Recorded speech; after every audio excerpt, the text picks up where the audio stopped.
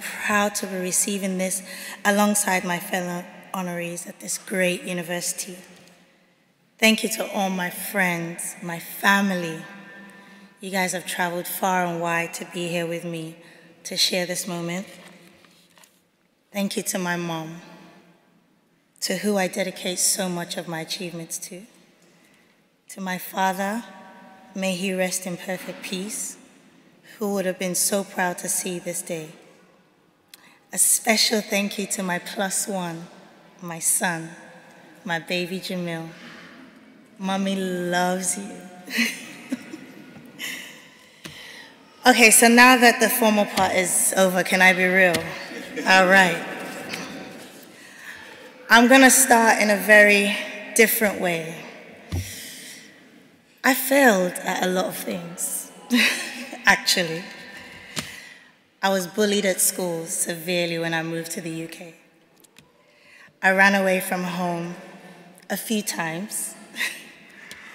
I was suspended a few times from school.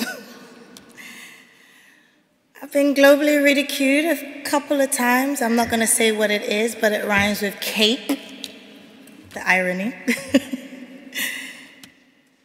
and I also failed principles of finance at this very university when, when I was graduating. but this same girl, this same girl went on to be a leading figure in a global phenomenon called Afrobeats. And some call me Queen, but it's Dr. Savage from now on.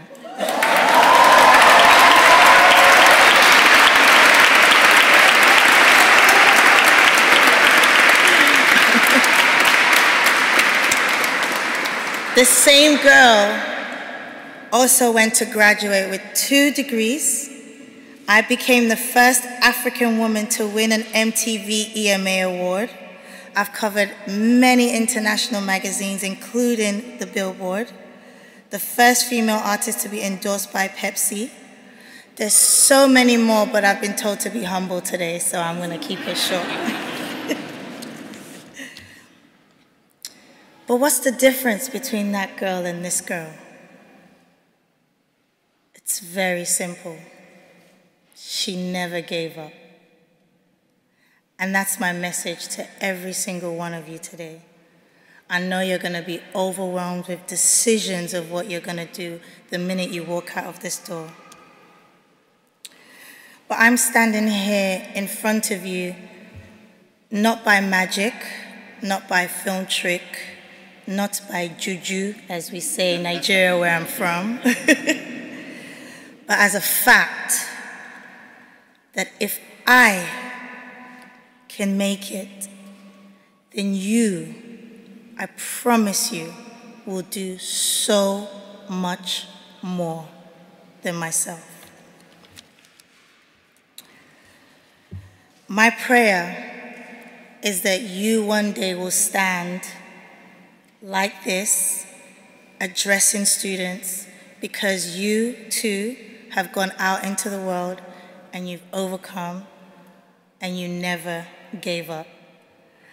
And I want you to make a promise today, not to your parents, not to your best friends, but to yourself, that you will become everything that God has created you to become on earth.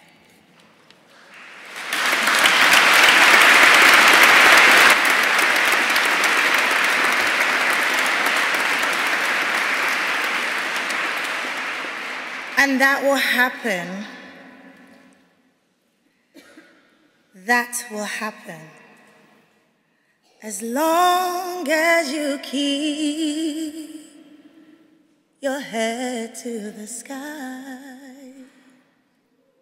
you can win.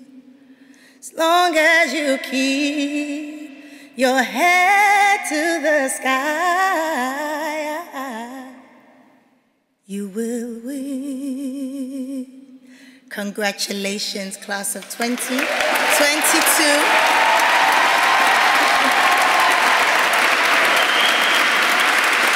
I want you